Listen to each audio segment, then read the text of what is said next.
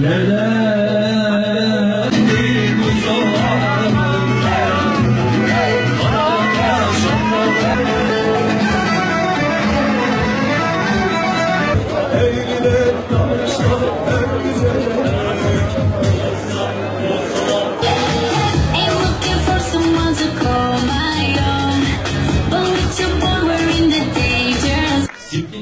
Çarşı tarihi eskiye dayanan şehrimizdeki alışveriş kültürünün en eski miraslarından birisidir.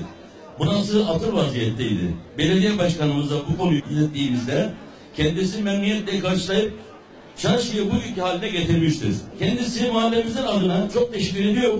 İnşallah bu çarşı mahallemize ve şehrimize ekonomik yönden hareketlendirir. Esnaflarımıza kazanç kapısı olur. kadınlarımızın bir arada el ele, gönül gönüle, el emeği, göz nuru ürünlerinin değerlendirilmesi amacıyla düzenlemesini yaptırdığımız tarihi Siptili Çarşısı'nın açılışına hoş geldiniz, şeref verdiniz. Kadının olduğu yerde saygı vardır. Kadının olduğu yerde güzellik vardır. Kadının olduğu yerde hoşgörü vardır. Kadının olduğu yerde azim vardır, çalışma vardır, başarı vardır. Vakıflar Müdürlüğümüzden kiraladığımız bu çarşı 18 adet iş yerinden oluşmakta olup kiraladıktan sonra amacına uygun bir şekilde gerek çarşı içi ve çevre düzenlemeleri belediyemiz tarafından yapılarak sizlerin hizmetine sunulmuştur. Yüce Peygamberimizin söylediği gibi hizmet etmeyi en büyük ibadet olarak kabul ediyor ve gece gündüz demeden sizlere hizmet etmeye çalışıyoruz. Bizlere güvendiğiniz sürece de çalışmaya devam edeceğimizden hiç kimsenin şüphesi olmasın. Bugün 12. açılışımızı gerçekleştiriyoruz. Dün gerçekleştirdiğimiz Sayın Kaymakamımızla birlikte bir trampa işini gerçekleştirmiş bulunuyoruz. Mevcut kaymakamlık binası şu anki emniyet müdürünün yanında bulunan eski Tarsus İtmayo Spor Kulübü'nün antrenman sahası şu anda Özgecan Spor Kompleksi olarak değerlendirdiğimiz yer artık dünden itibaren yeni kaymakamlık binası olarak tapusunu Sayın Kaymakamımıza verdik. Hayırlı uğurlu olsun. Biz de buna karşılık verdiğimiz arsaya karşılık Kırklar Sıtkı Mahallesi'nde bulunan Bilal Konutları'nın arkasındaki arsayı ayrıca Şehit Kerim Vergi Dairesi'nin Kızılmurat Vergi Dairesi'nin olduğu bina yani eski maliye binasını ve yapay şelaleyi geçin bisküvi fabrikasının karşısında bulunan boş arsanın tapusunu da Tarsus Belediyesi olarak bizden aldık. Bu da bize hayırlı olsun. Bizler Vuslat Meydan projemizin keşfini hazırladık. Keşfi çıktı. Yıkım için Yüksek Anıtlar Kurulu'ndan izin alacağız. Aynı zamanda projemizi Yüksek Anıtlar Kurulu da onayladıktan sonra inşallah Vuslat Meydan projesinin ihalesini de Nisan ayında yapıp yıl sonunda yıl sonunda 27 Aralık'ta Tarsus'un kurtuluşunda hep birlikte siz değerli hemşerilerimizle Sinsini Vuslat Meydanı'nda oynayacağız inşallah. Vuslat Meydanı'nın bir önemi daha var.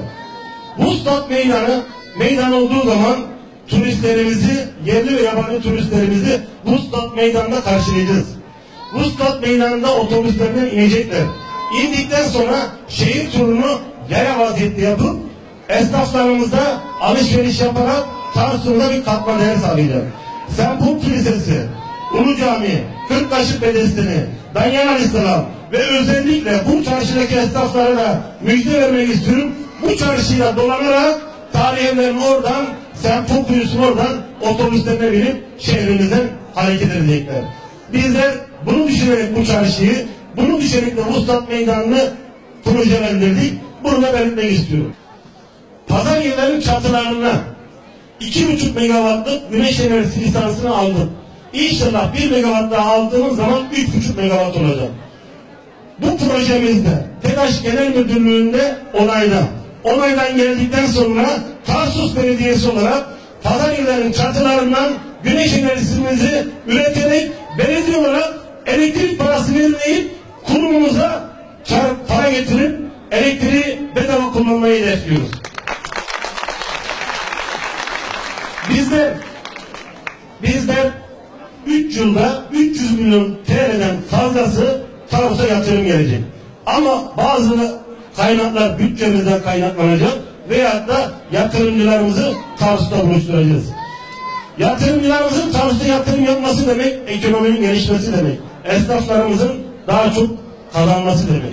Ama biz Tarsus'ta hemşehrilerimiz olarak şunu belirtmek istiyorum. Birinci önceliğimiz ekonomik olarak kalkınmanın yolu kazandığımız parayı kazandığımız parayı Tarsus'umuzda harcamak zorunluluğumuz var. Bunu bütün hemşehrilerimizden özellikle rica ediyorum. Birincisi kazandığımız parayı Tarsus'ta harcayacağız. İkincisi Tarsus'umuzda hep birlikte hep birlikte bütün hemşehrilerimiz olarak para gelişini sağlayacağız. Bizim birliğimizi ve dirliğimizi bozmak isteyenler var. Bizim birliğimizi ve dirliğimizi bozmak isteyenlere karşı Tarsus'umuzda yaşayan hemşehrilerimiz olarak dün nasıl birlikte yaşadıysak bugün de birlikte yaşayacağız. Allah'ın izniyle yarın da birlikte yaşayacağız.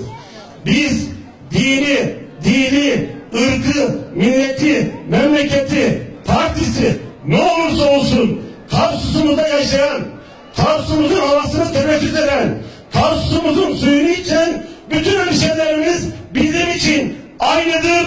Bizlerin kardeşidir, bizlerin de hemşerisidir. Yeter ki ne?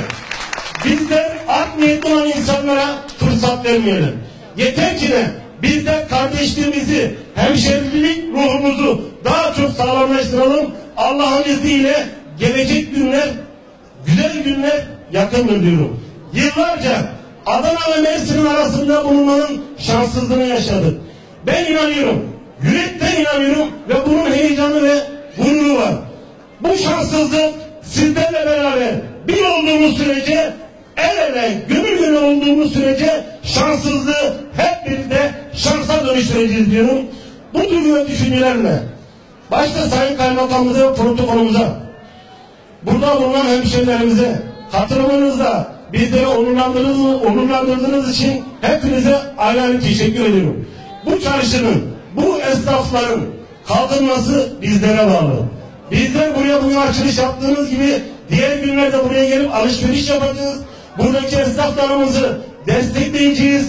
Destekleyince buradaki esnaflarımız para kazanacak ve herkesin yüzü gülecek diyorum. İnşallah bunu da hepimizin uygulamasını rica ediyorum.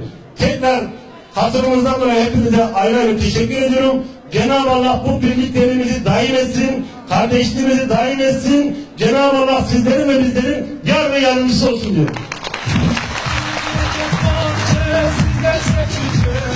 Bugün burada yine Tarsus'umuz için güzel bir etkinlikten dolayı bir araya gelmiş bulunuyoruz. Ve bu etkinliğin, bu açılışın 8 Mart Dünya Kadınlar Günü'ne rast gelmesi gerçekten belediyemizin, çalışanlarımızın çok ince bir duyguyla olaya bakmalarıyla alakalıdır. Ben tekrardan bugüne bu açılışı planladıkları için değerli belediye başkanımıza teşekkür ediyorum. Tabii kadınlarımız için sadece 8 Mart değil, ben şöyle düşünüyorum, yılın 365 günü bence Kadınlar Günü. Sadece bugün vesilesiyle kadınlarımızın toplumdaki yeri tekrar bir daha gözden geçirilmekte ve kadınlarımızın bizim için, geleceğimiz için ne kadar önemli oldukları bir daha vurgulanmakta.